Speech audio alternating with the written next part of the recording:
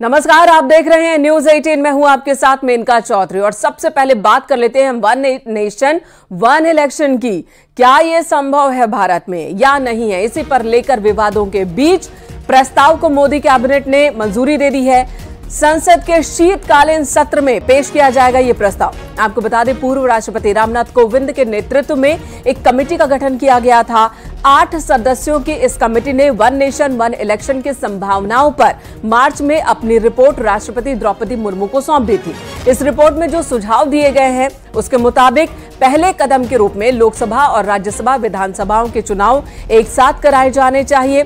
और समिति ने आगे सिफारिश की है कि लोकसभा और राज्य विधानसभा चुनाव एक साथ संपन्न होने के 100 दिन के भीतर स्थानीय निकायों के चुनाव भी कराए जाने चाहिए और उसके बाद आने वाले चुनाव एक साथ कराए जाने चाहिए।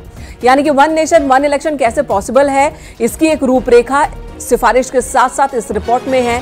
सात अलग अलग देशों की चुनाव प्रक्रियाओं पर रिसर्च करने के बाद इस टीम ने इस रिपोर्ट को तैयार किया, जो कि राष्ट्रपति द्रौपदी मुर्मू को सौंपा गया है और अब कैबिनेट ने इस प्रस्ताव को मंजूरी दी है।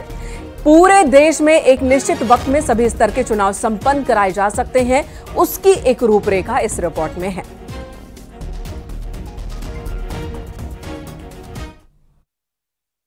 यूनियन कैबिनेट में माननीय प्रधानमंत्री श्री नरेंद्र मोदी जी ने एनडीए की सरकार ने वन नेशन, वन इलेक्शन में जो हाई लेवल कमेटी की रिकमेंडेशंस थी, उसको एक्सेप्ट किया है। High level committee recommendations on one nation, one election, on simultaneous elections. That those recommendations have been accepted today by the Union Cabinet.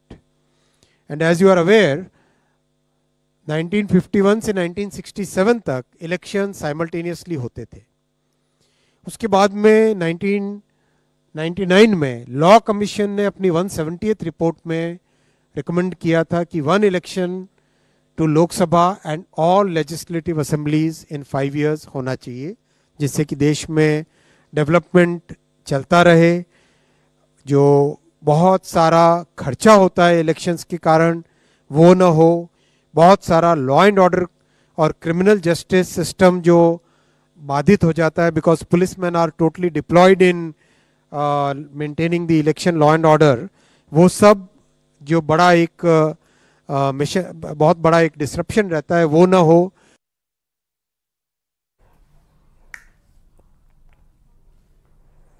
इस प्रस्ताव को मंजूरी मिलने के बाद वन नेशन, वन इलेक्शन का विरोध भी शुरू हो चुका है। कांग्रेस अध्यक्ष मल्लिकार्जुन खड़गे ने एक देश, एक चुनाव का विरोध किया। खड़गे ने कहा, one nation, one election practical नहीं है, ये चलने वाला नहीं है। ध्यान भटकाने के लिए यह मुद्दा लाया गया है।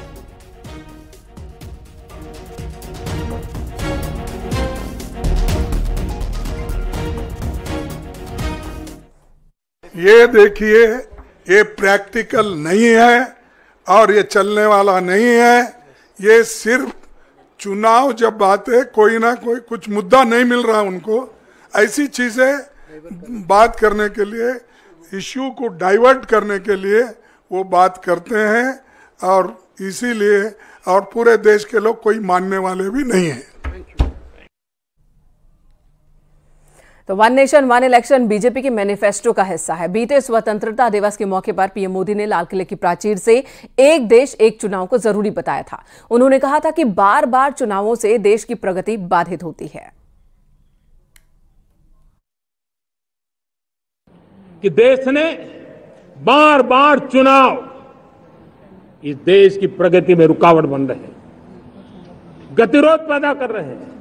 आज कोई भी योजना को चुनाव के साथ जोड़ देना आसान हो गया है, क्योंकि हर तीन महीने, छह महीने कहीं कहीं चुनाव चल रहा है। वन नेशन वन इलेक्शन के लिए देश को आगे आना होगा। देश के राजनीतिक दलों से आग्रह करता हूँ।